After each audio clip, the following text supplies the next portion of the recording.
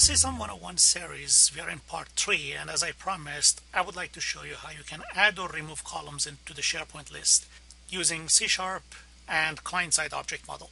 We start by deleting the column from SharePoint list because it's much easier and then I will show you how you can add column to a SharePoint list. To delete a column from the SharePoint list, we need to get a reference to the web. Inside the web, we have the lists collection that includes all the lists in the website. So inside it we can locate a list and we have a fields collection that includes a couple of fields inside it of course. All we need to do we need to locate a field and call the delete object.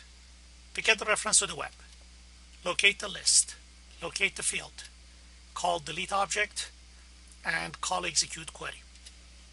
Let's see how it works. I go to Visual Studio and I create a new project. I want it to be of type Windows Forms application. I call it CSOM 101 Part 3. As always, I add reference to Microsoft.SharePoint.Client.Runtime and Microsoft.SharePoint.Client.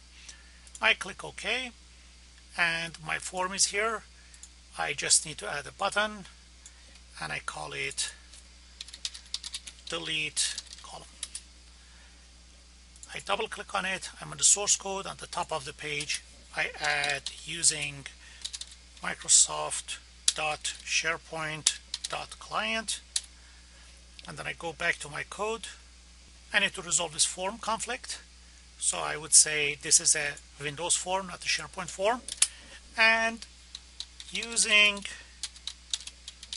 client context ctx equals new client context and I need the site URL. So this is the website that I have. In this website I have a list called products and the field that I'm going to delete is called expiry date.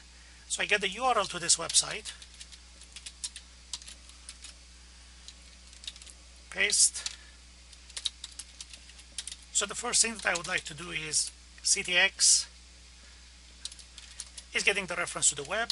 So web my web equals ctx.web. Then I get the reference to the list. List my list equals my web dot lists dot get by title and if you can remember it was products and now reference to the field my field equals my list dot fields dot get by title. It was expiry date. Let's double check. Yep. And all I need to do my field dot delete object and ctx.execute query to pass all the requests to the SharePoint server.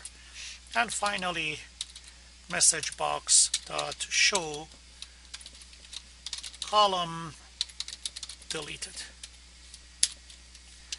Let me run it and see how it works. I click on it and it tells me column deleted. And I go to the page, refresh and verify that the column is gone. Now let's see how we can add columns to the SharePoint list. Again, we have the web object inside which we have lists. So we pick up a list and we have the fields collection just like any collection we call the add method but here because it's a field and we know field has its definition or its schema in XML we can simply call add field as XML so we can create a field in one shot without any additional manipulation so let's review we get the reference to the web we get reference to the list. We call the add field as XML we call execute query and then we are done. Let's see how it is done. So I go back to Visual Studio I go to the forms and I go to the toolbox I add another button and I call it add column. And I double click on it Imagine I would like to add the column that I just deleted. So the first thing that I need to do, I need to get a reference to the website.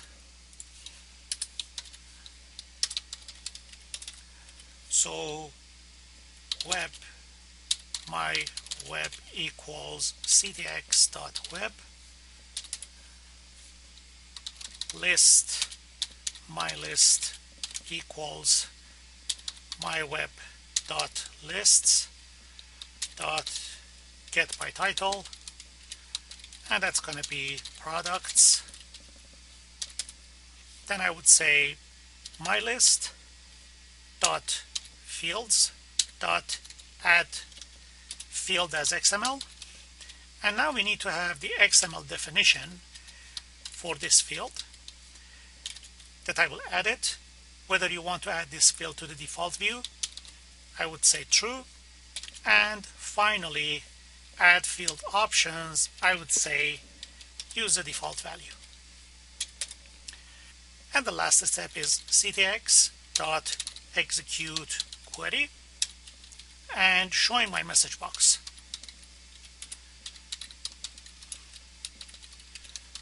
column created Okay. Now I need to have definition for this function. For that I simply go to I go to Google and I search for SharePoint field XML schema for example for field date. I can find it here hopefully in one of the examples uh, yep this field is date date time so I can copy it and I can bring it to Visual Studio for editing. I go back to my Visual Studio. I always use the XML designer here. So if I create an XML file and I click open I just paste the field definition in this in this XML editor.